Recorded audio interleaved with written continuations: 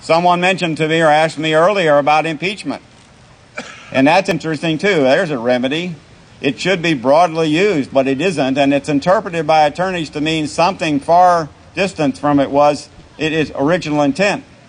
Justice Story writes extensively on what impeachment is, and in fact, impeachment by him, and Story, you may recall, was a uh, Chief Justice of the United States Supreme Court. He was on that court for 25 years, and he uh, served up until 1845.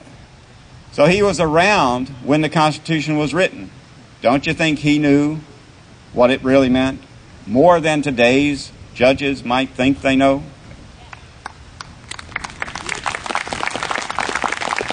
Well, Story, in his commentaries, says that whatever the House of Representatives determined to be impeachable is.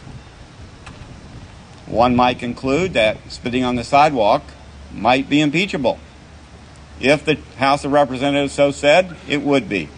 And of course, the Senate was to sit in trial of the individual who had been impeached.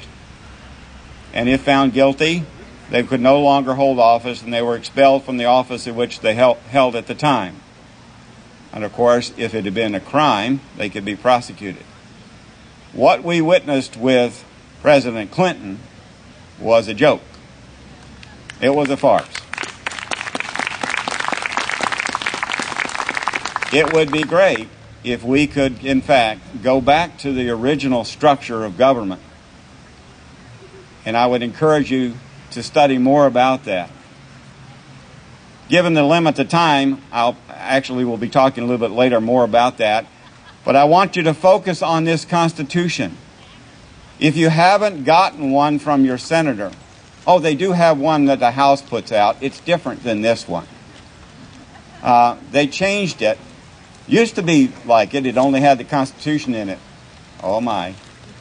Somebody's doing things. Anyway, um, they changed it and made it small print, added all sorts of other things, and even put a uh, Supreme Court, a Pennsylvania Supreme Court decision in there that said the last sentence in Article 1, Section 7 was unconstitutional.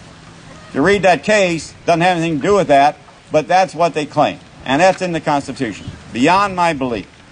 So I'd encourage you to get the state constitution from your senators and get a lot of them.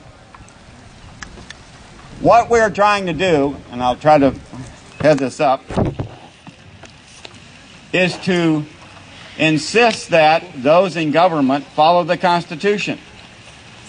In order to do that and to celebrate this day, a number of years ago I wrote a act which I titled Act 1776.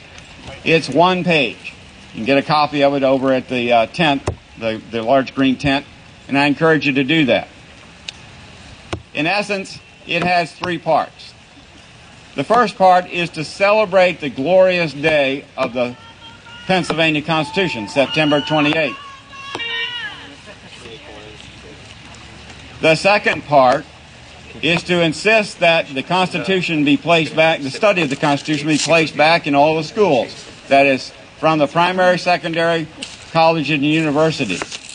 Unfortunately, even attorneys don't study the Constitution, and you'd think they should, but they don't. They study cases. The last part, which causes the most consternation for those in government, but I'm sure you might find very appealing, is that everyone in government must pass a comprehensive exam on the, exam, on the Constitution before they can do anything in their office. After all, the Constitution is the job description. What amazes me is those in government object to that, even though they take an oath of office to support, obey, and defend it. I really can't get my head around. There's a petition over at the green tent and also at the uh, sign-in uh, tent for this uh, to get the legislators to, in fact, enact this act into law and to hold those in government uh, accountable. It has four parts in this petition. One is to study and understand the Constitution. The sec- second one is to obey their oath of office. The third one is to pass the act or something very similar to it. And last, to introduce legislation and make into law that all in government will strictly interpret the Constitution by original intent uh, as it was written. It is not a living document, it is a legal document, and it should be interpreted accordingly. Also, to use true history to uh, write their opinions.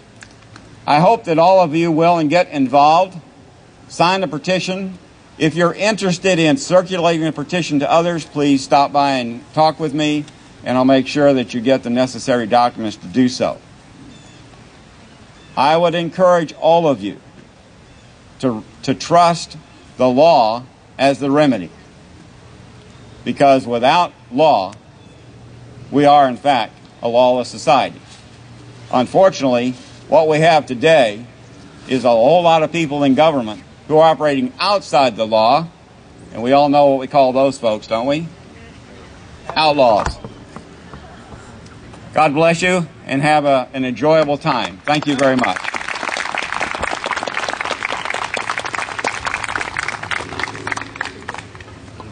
Thank you, William Taylor Reil.